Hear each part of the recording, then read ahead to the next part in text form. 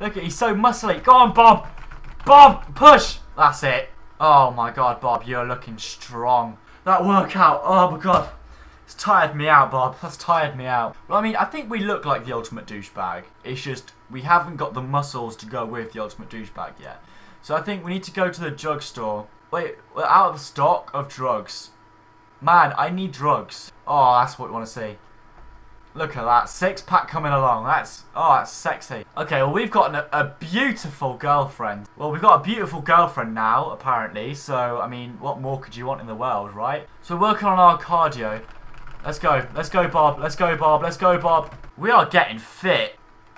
Bob's Bob's right arm's looking quite muscly compared to his left one. You're getting good at this. Bob's literally looking like the ultimate douchebag right now. He's got the hair, he's got the glasses, he's got the earrings, he's got the skin colour. He hasn't got the body yet. He, he's still he's not he's not got the ultimate body yet, but we're getting close.